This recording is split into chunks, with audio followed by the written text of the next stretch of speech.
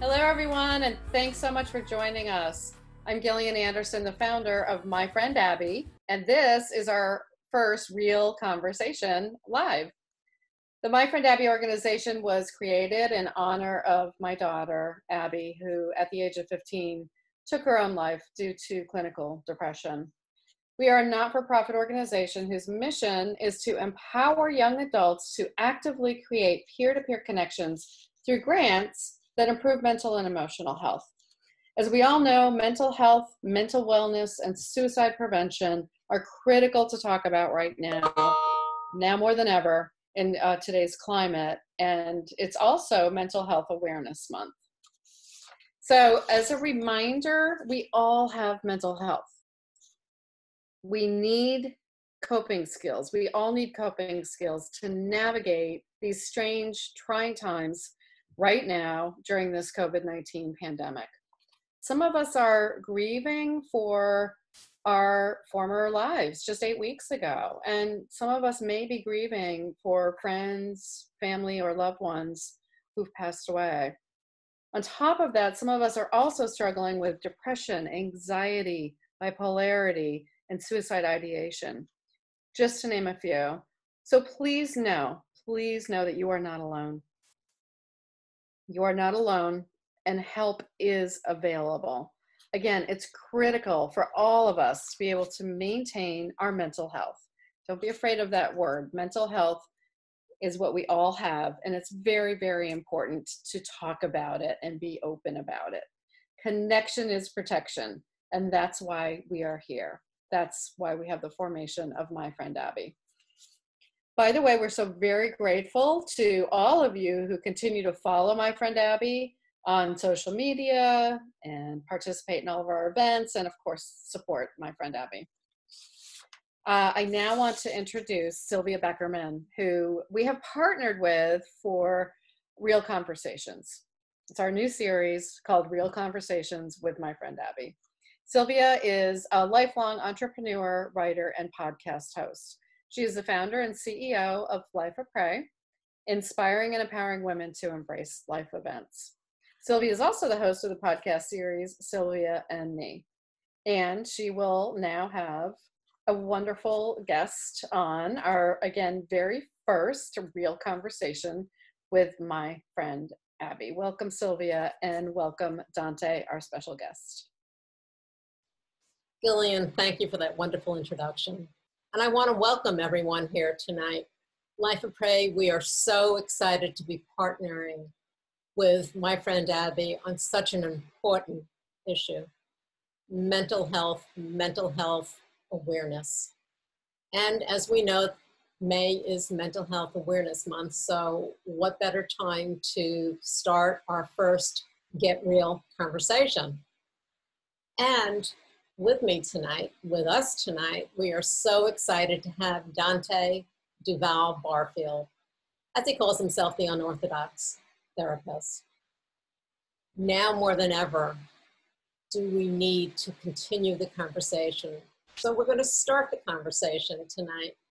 And Dante, one of the first things that I want to um, ask you is we're now in a situation that we have never been in before. I don't think any of us here have ever gone through what we're going through with the unknown, with the quarantine, with the virus.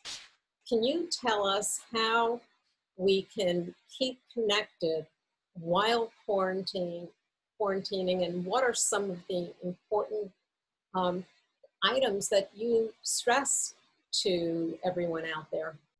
What um, COVID 19 has really done has taken all of our freedom and control and social life away. It has single-handedly in a moment like this this the almost like press of a button. Your life's gone. I'm gonna take it from you. How do we adapt? I don't know anybody on this planet who's been taught how to adapt that fast to like oh everything's gone. Now just go figure it out at home by yourself with your internet so something i have done over the last couple months well since it started is to really develop tons of things that people have connected with so i press everybody, each one of my clients, to connect with something or somebody every single day. And everybody then, will say, but I want to do it this way. Then I tell them, it's not going to be in person today. It's going to be online, via the phone, Instagram, Facebook, Twitter, these things that we can take advantage of. Um, for example, after a month, I saw people doing drive-by birthdays parties and parades. I never in a, I mean, I got goosebumps, goosebumps. I said, who who took advantage of, of COVID nineteen? That's something I I love saying. That take advantage of it. Drive-by birthday parties, drive-by um, baby showers. These things are not. They would not happen in if we weren't in COVID nineteen time. No, they wouldn't. Yeah, but there's something that changed that people were willing to still connect and they're willing to let go of the expectation that we had before covid-19 that we can do whatever we want. You know the other thing that i wanted to ask you um, and gillian mentioned this before the word grief. Mm-hmm. and people you know a lot of people think that people only grieve if you've lost someone Mm. Um, but really, I think uh, I forget what it is. I looked it up once. The, the meaning of grief is losing. It's not only just losing a person, people are grieving. People mm. are grieving over a life that they don't longer have. And, you know, the anxiety is, is that ever coming back? Mm. So, how do you um, how do you tell someone that it's okay to grieve? Mm that's re- how to to tell somebody to grieve. I like to maybe bring up examples of things that people have already lost, and when and they've already gone through the grieving process without even realizing it. Um, so, for example, a wallet. I'll use a or a purse or a remote control. okay. Right. So, if I watch somebody lose their remote control, they go through the stages of grief. Denial. Oh no, it's not. No, I know where it's at. Oh, wait a minute. I don't, you know. Um, the anger, ugh, you already start throwing pillows around. Um, then you get bargaining. Oh, like I should have put it where I like here. I shouldn't have, you know. And then the depression. I have to get up and turn this TV on now. I, I and then acceptance. All right, remote's gone. I got to figure this out. And you order universal remote, right? Whatever it may be. So and that happens quick. It can be a quick transaction, but that's that's grief. the loss of a remote control. So what I tell people to do is now acknowledge something in your life that's similar that maybe is a little more soft for you to accept to say that's lost. That I go from wallet to dream, not say dream, but maybe like a dog, a pet. You know, I should ease it. I should ease people into then acknowledging COVID nineteen. What have what have you lost? My social life, my job, my friendship connection, my high school graduation, my you name it, right? I could go through the periods of loss that have happened in this, and that's traumatic grief. So something that's different about this grief is it very traumatic, very quick. Something I want everybody to do, which I hope they're cool to do, is say, all right, I have I have grieved. Let's talk about some other stuff I have. Then and then when you think about now, all right, I have adapted before. How am I going to adapt now? Um, it's okay to know that you you've lost something. So when you think of grief, think of something you've lost. Try to take away the weight of that loss, and be okay with knowing that you've accepted some. Now, how you we learn to do this one? Because when we do get back to normalcy, things will be different. I'm, so, I'm very yeah. Okay, so one of the things that you know we're talking about, we're having a conversation, and you know the whole idea behind um, the mental illness and and and and the suffering is the stigma and the shame. And now so many people are feeling uh, anxiety and, uh, and, and panic and fear. Mm-hmm. Should we be talking more? I mean, is this the time um, to really connect with people and actually be able to talk about how you're feeling and not feel ashamed of feeling that you know just openly talk to your friends your parents mm-hmm. and have an open dialogue. Ah uh, this is i think the greatest part about maybe i'm saying greatest part but i do look at the glass half full. Glass half full of this that mental health is be, is definitely become more of a hot topic that i think people are going to be have a little bit easier of a time to accept. So something that can start this conversation personally with people is i literally almost make it a goal. Call somebody and say, I don't want to hear about what you did. I want to hear about how you feel. And I want to hear about like when you when you know that you've gone through a loss during COVID-19, I, I tell, hey, go talk to somebody else about exactly that same thing. Cause I know they've gone through it.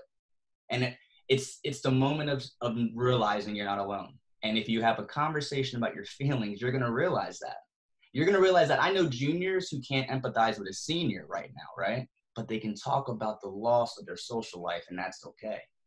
That you might it's that it's sometimes people i feel like they need to empathize exactly to talk about feelings. It's like oh i'm only going to talk to you about that if i've gone through it too. I say no let's have some fun. Um, let's talk about it anyway because you've gone through it in a different way. Igniting that conversation just takes a choice. I can i can call you right now and talk about netflix or what it was like for me to lose my job for a week and not be able to do therapy i'm gonna that's my choice I'm to give you my second. and what does it require? Defeating that stigma. that's my mission. That's my dream. I wish everybody would do it the same way they do. Like a cough. Oh my gosh, what could that be? Everybody's cool to talk about it. I, I want to get it to the same exact point. A tear is like a cough. What's that? The flu, COVID 19, allergies? You'll, what's that? Depression? Bad day? Anxiety? Right there. How did we get there? It's got to start with some people willing to do it kids. Imagine some 16 year olds conditioning other 16 year olds to talk about feelings. I'm not gonna have a job in 20 years. So there's um there's something about the power of this conversation with our audience to to really know that um if I had this mind at age 16, 15, 14, yeah. yeah, I don't, you know, I don't, I know I'd be in a different position in life and one that I would understand way more of my feelings I just avoided for many years. Um, well, one of the things that, you know, picking up on what you said is the fact that we all have to accept that we're feeling something. Mm-hmm. Anyone who says that they're they're they're okay with what's going on and they're not anxious and they're not frustrated and they're not panicked are not really accepting their feelings and, and the reality of it.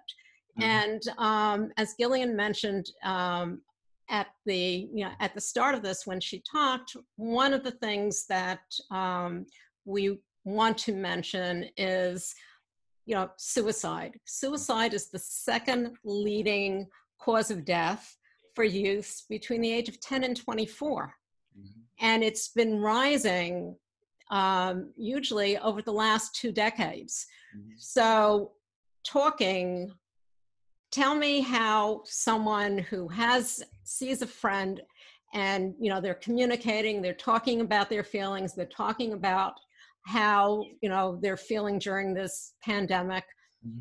at what point should a friend continue talking and then tell someone? Great question. I think if at any moment somebody feels this is the thing that's not written down. Just feels as though they sh- should talk to somebody. Do it. Because there's my number one goal in life is to do no harm. And the emotional harm of telling somebody that there could be something going on i can manage that. The other harm is something i don't want to have to th- think about. So i'm always going to tell talk always. I tell this to everybody, ages zero to 150. go, go. This is, there's people in the field like myself who kind of really do these things around the suicidal ideation, right? We do all this stuff, right? And I say, no, this, your opportunity might be to then say, have some resources, direct people. And I'm also a really big fan of this really, really amazing um, kind of technique called uh, QPR, where it's like CPR for suicide ideation it's opening your mind and being willing to also maybe give yourself some more tools to talk about these things that it's okay to talk about. I tell 12 year olds talk 12 year olds about it. Why? Because you're you might be helping a 12 year old more than anybody. Mm-hmm. Um, I'll say, and I'll say it this way: that every everybody, children, everybody, we you all need to kind of know that we have a 911, right? How come everybody goes right to 911 when it's an emergency physically? I want everybody to do the same when it comes to suicide ideation. Like I think everybody feels it when it's too much. That's when you tell. What will your friends say? Will they be mad? They'll be alive. Yes, exactly. I don't, yeah, and I don't sugarcoat that. Very, very, very, very real. okay. So, in um, in everything that we've been talking about and this conversation, um, what do you think? I know that um, you mentioned it, but what is your takeaway from everything that's going on now? Um, have we started talking? I know we've started the conversation. Hopefully, this will go out to a lot, a lot of people, and get everyone to really start talking. But where do you see this going? Um, you know, I, I understand that the mental health call centers have been so inundated with calls. Do you think that this could be the start of people actually realizing and starting to get rid of the shame and stigma of mental illness, that it is an illness just like anything else? I want to give you uh, the reason why I, I call myself unorthodox. Um, and I'll say it's very lightly. No, it's not. And, and I'll say why I say this. This has given us a chance to have it be talked about on the news something I've noticed through my life and career and experience in this world is that once things go back, people forget. That's right. So here's my mission now. This is a really great flint and stone to see what we mm-hmm. do with the spark. COVID 19, here's a spark. What you gonna do with it, mental health people?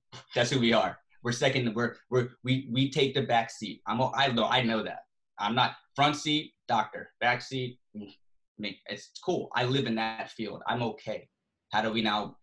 Any spark I have, I'm going to take that. So instead of saying this is going to change everything, I'm going to live in my real unorthodox world and say, no, it's not. But I know it's highlighted. And as soon as I have an opportunity to bring that flame around, I'm going to go. And I hope everybody now can do that as well. Because imagine um, in 90 days, let's have the same conversation. Then another 90 days have the same exact one as if we were in COVID 19 again. And then another 90, we do it again. What does that take? Conditioning, time, and practice. When the world gets flipped upside down in, in a traumatic event, I'm not too sure if that's going to be the thing that makes all of this change. But I know I'll say this with the meeting you all in the last four or five days reminds me of how it will.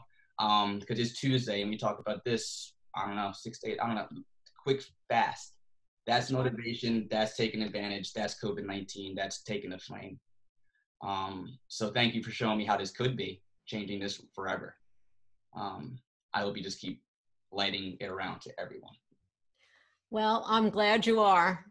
Um, Dante, um, you have laid it out on the table, and I think what you just said is so important that this is a spark and we need to keep it going. Um, we are now going to, if, if I know that um, we had said before, if you have any questions, this is the time to um, put them out there. And um, let me see, I do have to put these on in order to take a look. Um, okay, here's, here's a, uh, a question. Um, I live with bipolar disorder that is mild but significant enough to have me cycle through depression and, and hypomania. It's a biological biological disorder. My brain is simply wired differently. I'm fortunate to have many tools to help me an understanding spouse, a wonderful therapist, and medication. It is disappointing to me that most pe- people I speak to educated, well meaning uh, people who simply don't believe this exists. They only believe in situational depression. The mm. stigma around non situational mental health disorders is tremendous. What is your recommendation for reaching people who don't get it or should know better? Um, I would say this very, very happily and proudly. I'm gonna, I'm gonna take bipolar um, as if it were me being black, and not at once am I gonna walk around and feel and apologize for how my identity operates. So now let's look at this like bipolar. Oh, I'm manic. I'm very depressed today. That's who I am. That's that's what this is. Mm-hmm. Do I need to keep apologizing for it? I tell everybody, all even people who come to me who are diagnosed bipolar one, two, when they learn how to move around with that and not defend it anymore, to know that it's valid and the world's not going to validate you. freeing yourself from that and holding on to your stuff, and I say stuff, and I'm gonna say bipolar, but holding on, that's yours. Appreciate it and love it. Because I love all my diagnoses that I've been given, the ones maybe genetically, maybe maybe through experience, but the ones that have been invalidated in society, those are the ones that I help people understand with an identity. Because it's not gonna go away. If you can learn to accept it and tell the world, screw you, like my bo- I like my bipolar. If you own it, if you own it, no one can take it away uh-huh. from you. And if they say it's not real, I say, okay, bye. And I just keep going, you know, because tomorrow I, I have to take my real drug for my fake thing. Okay, whatever, you know, it's that's where I live. I'm just going to continue to live my life. And I tell everybody with that because I'm not going to get rid of your bipolar. It doesn't happen. But I'm going to help you maybe learn some different ways to acknowledge it. It is well, hard. That, that's great. I love that answer. All right. Um, what are some resources that people with anxiety and depression can utilize from home? How can someone with anxiety and depression cope with living with family members who dismiss their symptoms? Great mm. question. That's very good. How can you cope with anxiety and depression? We are America's built to cope, and most of the things we do are coping. Um, I, it's like hobbies, happy hour, um, tons of things. We are the world is full of them. So when I so when people ask me how do I cope, I say, let's not go type how do I cope in the computer. I want to ask everybody, what do you want to do? What do you like to do? What are some things you think you're not going to be good at? What are some things you think are going to be interesting? Put them all on the table and go fail at every single one of them. And then come back and tell me what it was, how anxious you were during all of that distracting. And all of a sudden, now I'm going to ask you, which one did you like the best? And then we're going to keep going. Then like a couple months is going to pass and then you're not going to be talking about the anxiety as much because you're now operating and managing it in a different way. So everybody out there who's got depression, anxiety, I want you all to first anxiety live, learn to live with it. It's not going anywhere. I teach people how to manage your anxiety and depression. I can't get rid of it. I can teach you how to manage it. Some of my clients name it. It's and they think it's, it's a little weird, but I'm like, yeah. And then the funniest one is um Monica, Monica from Friends. Hilarious. That's your anxiety. So part of it's like, all right, now it's with me. What do I do with this? Ah, I go build a birdhouse. It's it's these it's like what are you gonna put that energy? I'm nervous. I know you're nervous. I don't know what's gonna happen either, but what do you want to do? I don't know. There's some blue jays outside. I like birds. I'm gonna go build. Okay, there's something to manage it. Um, now, living with somebody who's gonna invalidate your mental health. That's that's why I'm that's why I have this job because everybody validates mental health. Could you imagine if families didn't do that? If everybody validated your mental health experience, I literally wouldn't have work. This is the this is what gives us mental health and illness, the invalidation of our sadness. It's like telling somebody has COVID 19 that your cough is a laugh. That's, that's, not, that's not a cough, it's a laugh every time. And then you feel sick and you have no taste and you and they don't believe you. That's okay. Let's see. Uh, next question. Do you have experience with genetic testing to help better prescribe medication? What are your thoughts? Oh, genetic, no, I won't even go into that one. Um, but I will say this that I'm a big fan, a big, big fan of the brain. So my trauma work is all related to the brain. So something that I do like to at least have people explore if they're into like the genetic idea of life and how this can really help you. I would also have that person be open-minded to how the brain can help you heal. So I introduce people to other concepts kind of similar to that, where I dive into um, how the brain operates. So I tell somebody to be keep keep opening your mind. There are other things out there kind of similar that might not be medication based. I can help you understand uh, genetics in your therapy. Okay, um, I've been I've seen toxic positivity being thrown around in response to people who are talking about how they are taking advantage of quarantine, mm-hmm. finding gratitude, learning new skills, etc. What are your thoughts around this phrase toxic positivity positivity, especially in this context. I feel like people are doing exactly what you said is a great idea to do right now. Yeah. Oh, toxic positivity. It's a great way to spend enjoying your life and having a good time. Um, the, the reason why I think that word toxic positivity got thrown out is because there has been a, mo- a movement of motivation, I think, through COVID 19, where people put this expectation of like, writing a like a New York Times bestseller in 45 days while you're trapped in your house. That that when you tell somebody or promote somebody or motivate somebody to do something good to help manage your anxiety and depression, and it turns into a podcast or a book, is that toxic positivity or taking over COVID 19? I kind of want people to accept their goodness in life and be okay with people talking about it in a negative context. That if you do something good, you don't have to blast it to the world and tell them to do it as well. That positivity isn't meeting people where they're at because there are people out there whose positivity is just showering today. So rather than pushing your success and happiness on people, I tell people just to hold it and then look at other people's as well and acknowledge that the same exact way. Uh, I know a lot of people that have been stuck with that. I, as a therapist, promote people to manage their anxiety, and it's turned into some of the greatest things that people make fun of them for. I can't believe he did something. He should have just stayed at home and did nothing. Oh, like people who feel bad for making projects, picking up a new hobby. I know people who literally stopped doing something because they said, "No, you shouldn't do that. You should just stay home." okay. Um, I know somebody who stopped running because they were trying to get faster to run a marathon after this. Somebody said, "Why are you?" Tra-? No, don't do that. okay and then you come to somebody like me and i'm always going to lean on the other side. And i'm never going to call it toxic positivity. Um, but i will acknowledge how that weight of being positive can play a role in somebody's not feeling good. And that comparison and normalizing. Um, there are people out there who do good things. Who love to shove it down people's faces. Social networking they love to show the greatness and nobody knows what that's really like for people who just don't have it in them um, and i like to sit with the people who who don't and find some space to do something small that is okay. That still is positive. I have one. Here's one question for you. I am shutting down more and more and becoming very isolated. People don't want to hear about depression and anxiety. What specific language would you suggest a friend may use in response to a friend who confides about struggling with their mental wellness and suicidal thoughts? Hmm.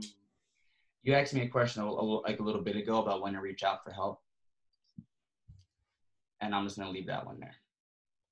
That my next I have an episode I'm uh, recording now called Just a Friend, and learning the boundary of friendship is very very valid I think, and I think a lot of people should really understand what that means because sometimes friends don't have the ability to really hold on and manage all of that that i i even myself you know i'm mindful of just understanding that that can sometimes play a role in people's lives.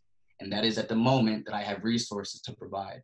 I have conversations about is there somebody else or is there some other support we can find? I literally have developed and built a nonprofit to provide 24/7 care for people who are like who had this, to find space to acknowledge that they need to check in. They don't have insurance. They don't really have ways of making this big therapeutic thing, but I need to check in. So I got it. I got you.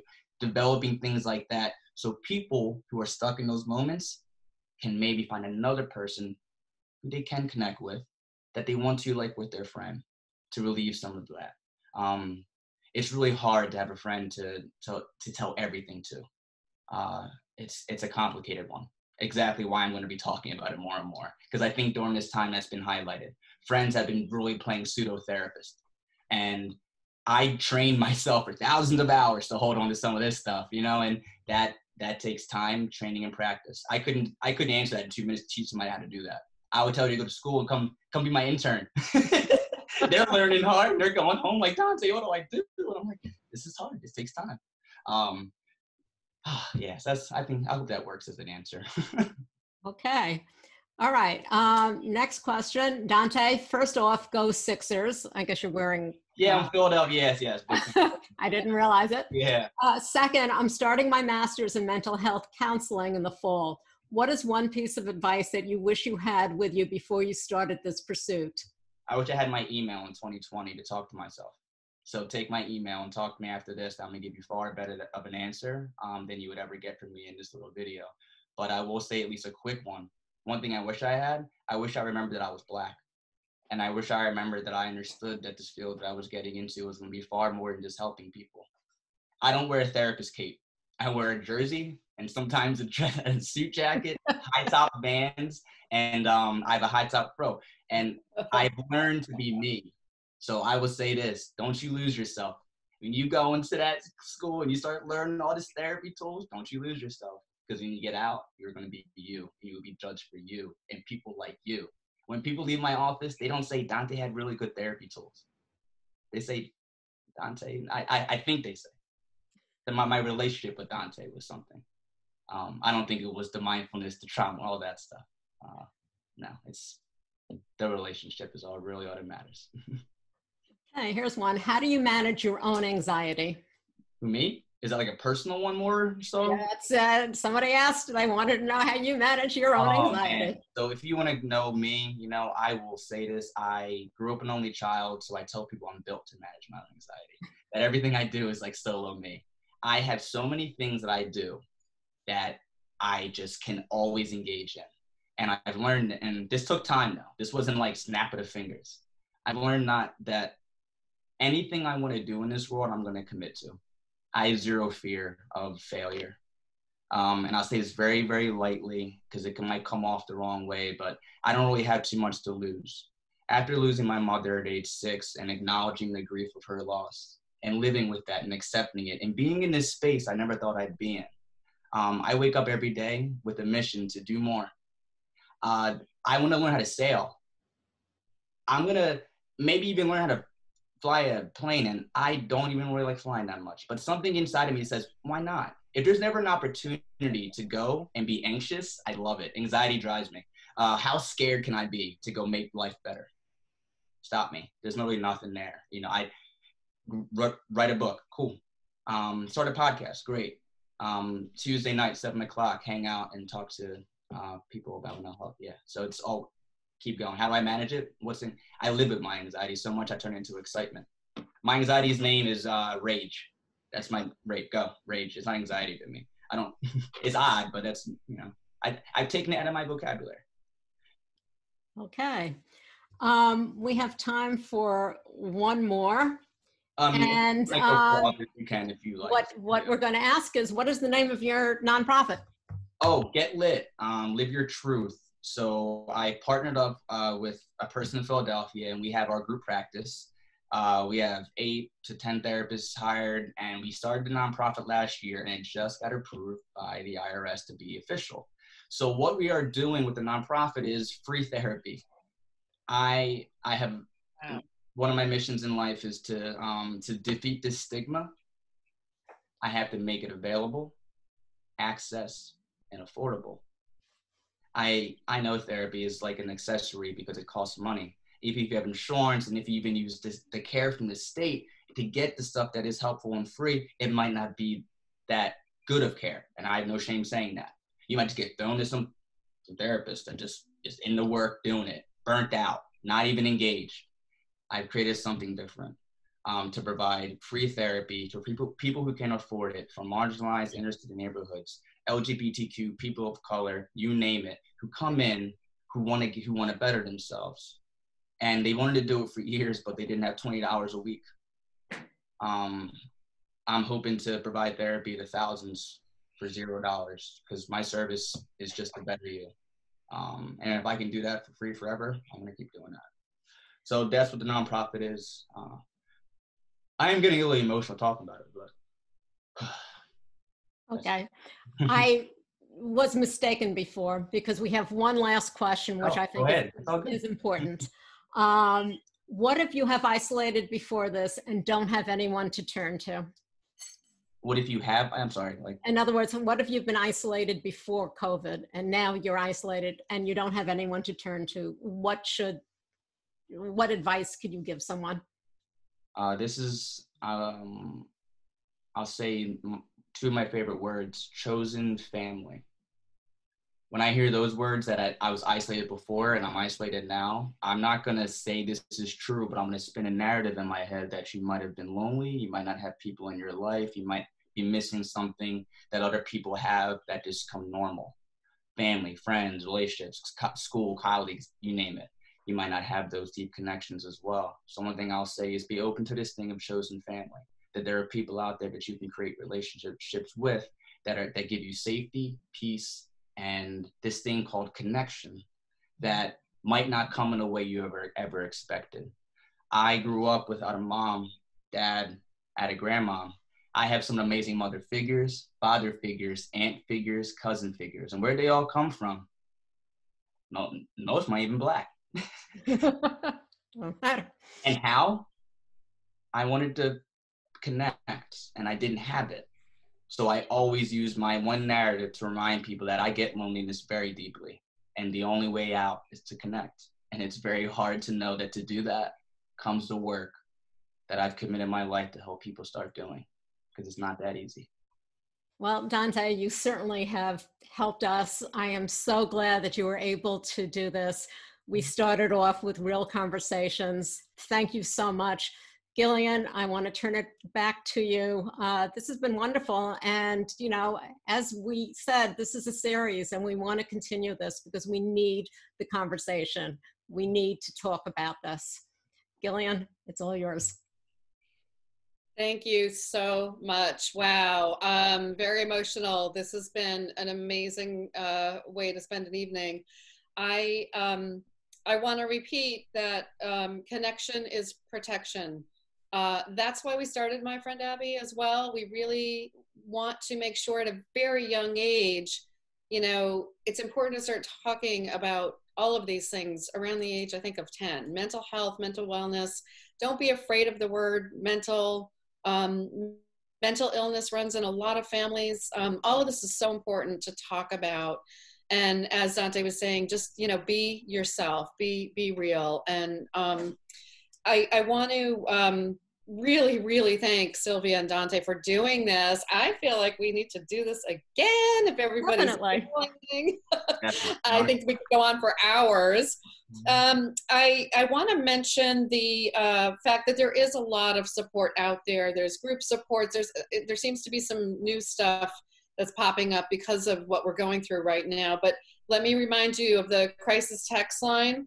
Uh, it's not just for uh, suicide ideation, but it's for any kind of crisis. But the crisis text line, uh, you text home, H O M E, to 741741, and there's an expert on the other end. So, you know, if you really, uh, as Dante said, you know when you need help and you know when you need to reach out to someone. There's also the National Suicide Prevention Lifeline, which is 800 273 8255. Again, National Suicide Prevention Lifeline. You can Google all of these things. Uh, look for all of the um, uh, things that are available to you.